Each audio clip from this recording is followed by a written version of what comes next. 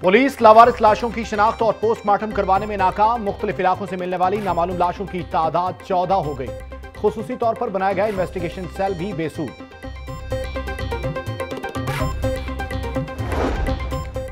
بلدیاتی انتخابات سے قبل تحریک انصاف کی تنظیم نو کا فیصلہ، پارٹی سربراہ عمران خان نے سیکرٹری جنرل ارشد داد کو ٹاسک دے دیا۔ حکومتی عہدے رکھنے والے وزراء مشیروں اور پارٹی عہدے واپس لینے کی تجویز۔ بجلی اور گیس چوروں کی شامت آ گئی۔ سوئی گیس ٹیم کی مصطفیٰ پاک میں کارروائی۔ بیس گھروں میں غیر قانونی استعمال پکڑا گیا۔ صوفی آباد لیسکو سب ڈویژن کی کارروائی۔ پچیس گھروں سے بجلی چوری پکڑی گئی۔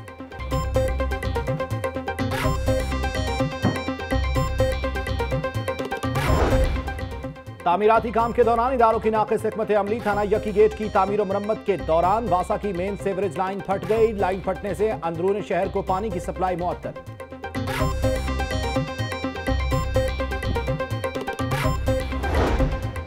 ڈالفن سکواڈ کی مختلف علاقوں میں کارروائیاں، دوران پیٹرولنگ، چوروں سمیت سولہ ملزمان کو گرفتار کر لیا۔ ایس پی سی ٹی ایسن سیف اللہ کا اسلام پورہ سرکل میں کھلی کچہری۔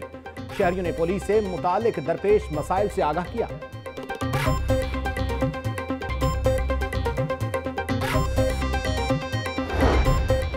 کنگ ایڈورڈ میڈیکل یونیورسٹی اور میو ہسپتال کی واٹر سپلائی لائن میں خرابی، ڈاکٹرز ہاسٹل میں گندا اور بدبودار پانی آنے لگا۔ ڈاکٹرز پریشانی میں مبتلا۔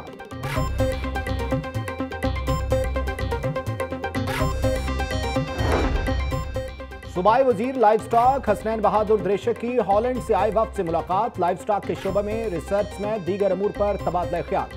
نوے فیصد غریب لائف سٹاک فارمرز ہمارے ملک کا سرمایہ ہیں، وزیر لائف سٹاک۔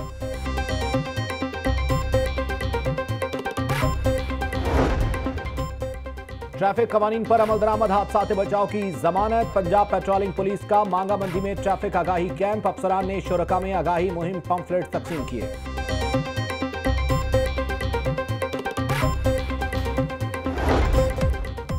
اور انجمن تاجران لاہور کے وفد کی اعظم کلاتھ مارکیٹ آمد تاجروں نے صدر مجاہد مقصود بٹ اور دیگر عہدیداروں کا شاندار استقبال کیا۔